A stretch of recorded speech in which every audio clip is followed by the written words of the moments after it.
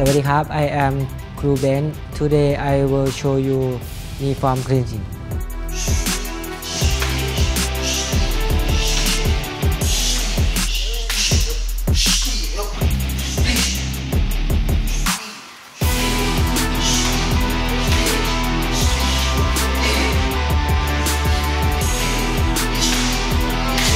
This is